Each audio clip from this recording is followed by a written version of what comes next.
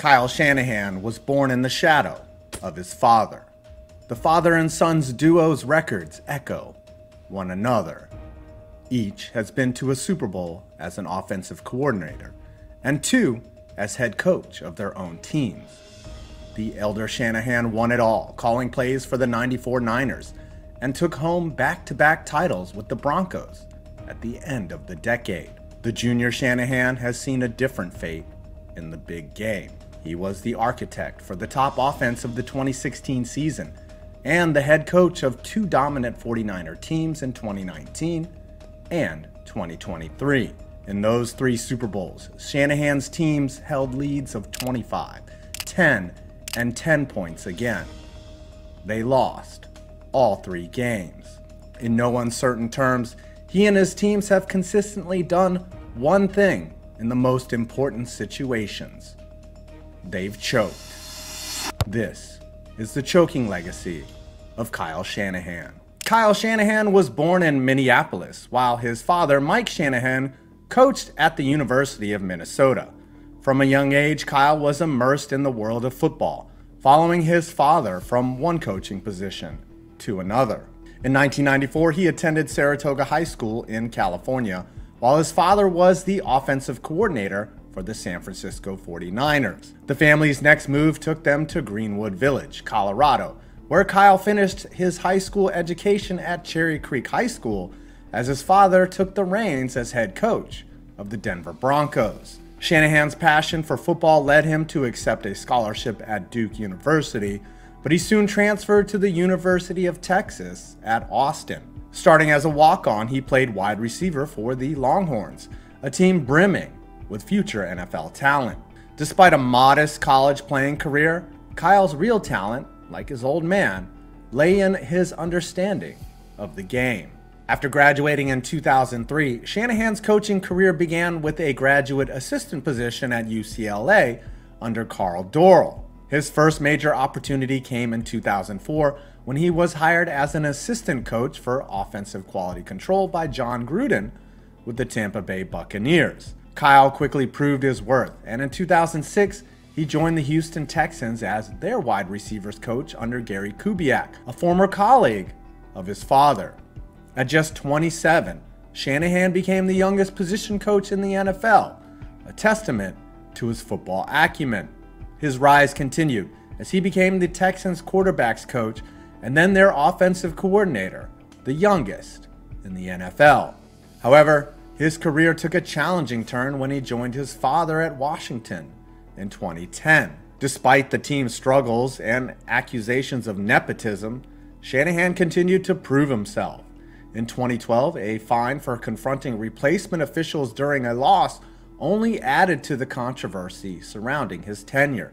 The Shanahans were eventually fired in 2013 after a disappointing season, along with a haunting roster of coaching talent. Yeah, Commanders fan, your owner was an idiot. Undeterred, Shanahan took on the role of offensive coordinator for the Cleveland Browns in 2014, but resigned after a year due to disagreements with the head coach and front office. His next opportunity came with the Atlanta Falcons in 2015, and then things started to fall in place. In Kyle Shanahan's second season as the OC under Dan Quinn, the Atlanta Falcons offense soared to record heights. In his eighth year at the helm, Matt Ryan had a stellar year, earning his first and only MVP award as the team powered its way through the NFC to making a surprising Super Bowl appearance. The Falcons entered Super Bowl 51 as underdogs against the New England Patriots. However, the game took a dramatic turn in the second quarter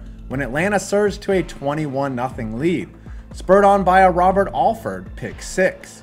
By late in the third quarter, the Falcons were up by that infamous score, 28 to 3, seemingly on the brink of securing the championship, their first in team history. Yet, no lead felt entirely safe against the Tom Brady era Patriots.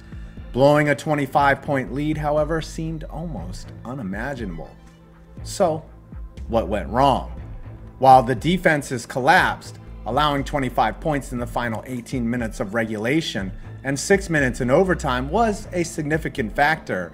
It's more than fair to place a good deal of blame on the offense.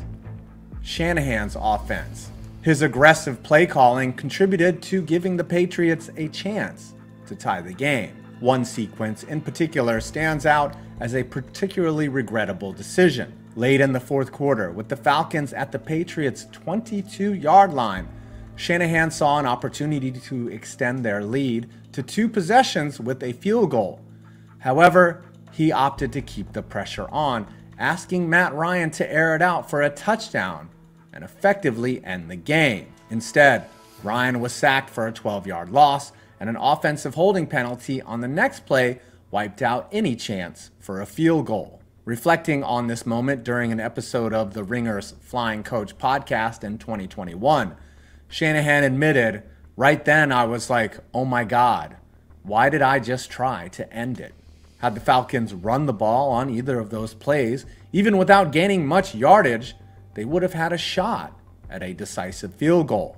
Instead, they were forced to punt, setting up New England's game tying drive.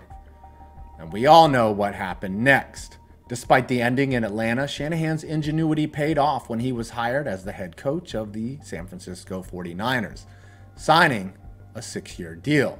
His first season was rocky, with the quarterback position unsettled and the team losing their first nine games. However, the first time head coach's leadership began to shine as the 49ers ended the season with a five game win streak following a midseason trade for Jimmy Garoppolo. The following years saw ups and downs, including a devastating injury to Garoppolo in 2018. But Shanahan and GM John Lynch's vision and strategy bore fruit in the 2019 season, as the 49ers finished with a 13 3 record and advanced to the Super Bowl once again. Throughout much of Garoppolo's tenure with the San Francisco 49ers, Shanahan often appeared cautious, rarely exuding confidence in his quarterback. This conservative approach generally served the team well during the regular season, but in the pressure cooker of Super Bowl 54, it set the stage for heartbreak. The 49ers were in a promising position, albeit not as commanding as the Falcons' infamous lead three years earlier. With just under 12 minutes left in the fourth quarter, San Francisco intercepted Patrick Mahomes, holding a 10 point lead at 20 to 10. At that moment, victory seemed within their grasp. Shanahan was about to right his previous wrongs. However, rather than seizing the opportunity to extend their lead, the 49ers shifted into a clock management mode, focusing on running out the time instead of putting up more points on the board. Shanahan's cautious play calling, perhaps influenced by the painful lessons of Super Bowl 51, proved to be a double edged sword. In a close enough game with plenty of time remaining, the strategy backfired.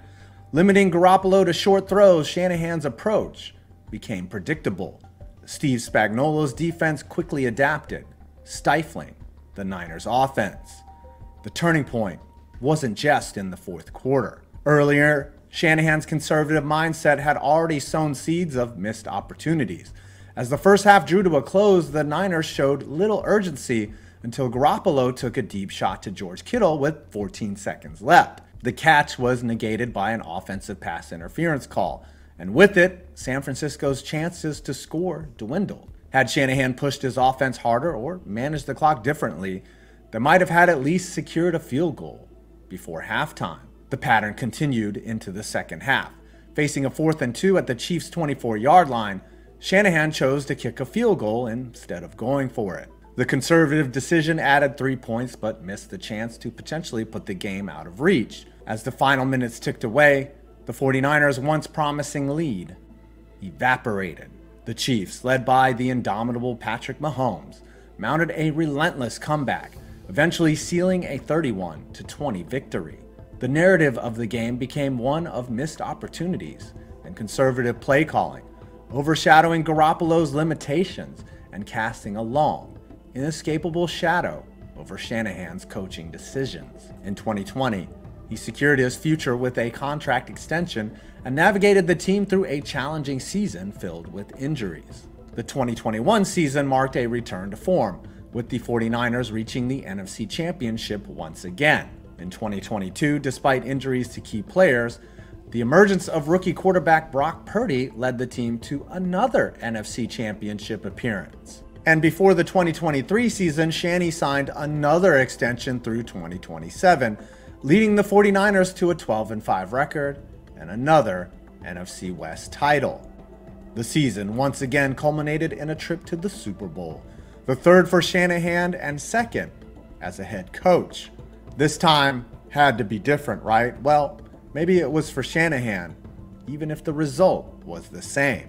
Kyle Shanahan found himself at the helm of a San Francisco offense that struggled to capitalize on opportunities in the biggest game of the 2023 season. Despite receiving two turnovers and often having favorable field positions, the team managed only 10 points through three quarters. Tony Romo criticized Shanahan for abandoning the ground game during a scoreless third quarter, while others noted that Chiefs coach Andy Reid would have opted to kick off in overtime unlike Shanahan. However, these critiques didn't fully capture the complexity of the situation.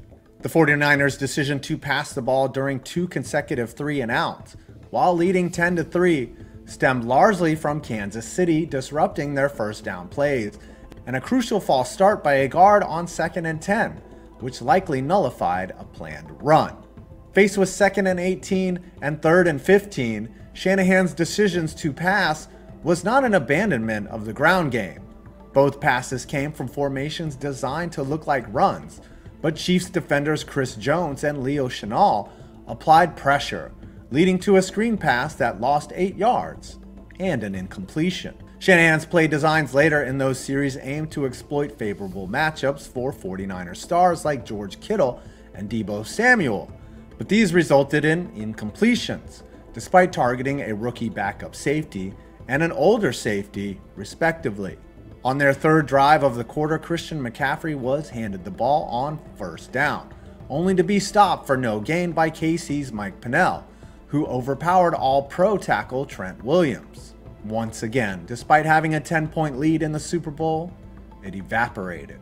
And just like Super Bowl 51, the most crucial contest of the year went to overtime. The decision to receive the ball in OT instead of kicking off was also defensible. You want the ball? Do you want to kick? San Francisco will receive first in overtime. Good luck, gentlemen. It allowed the 49ers defense, which had worked hard at the end of the fourth quarter, to rest. However, this choice did give the Chiefs a clear objective when they finally got the ball either match the 49ers' field goal or win it. The 49ers had hoped to get the ball back, but a blocking error exploited by Jones forced them to settle for a field goal. Then Patrick Mahomes, with an 8 for 8 passing performance and 27 rushing yards, orchestrated a touchdown drive that sealed the game. Kyle's legacy so far has been written. Shanahan's critical misstep occurred late in the first half when he chose not to use his timeouts on defense. This decision likely cost his team a chance to extend their 10 3 lead before halftime. Additionally, the revelation that some 49ers players were unaware of the updated overtime rules reflected poorly on Shanahan's preparation. Despite this, the defense knew they had to stop the Chiefs' winning drive, but failed to do so. Even with the Chiefs receiver Mecole Hardman unaware that a touchdown would win the game, it didn't stop him from making the catch. Shanahan's decisions were scrutinized, and while some were defensible, they ultimately fell short in preventing another Super Bowl disappointment for both him and the 49ers. Shanahan was a loser for the third time, but he didn't choke like in previous trips to the Super Bowl. The Chiefs simply won it. Regardless, the game will add to his legacy, his canvas of choke artistry tinted by the accomplishments of his dad, and it won't end until he hoists a Lombardi.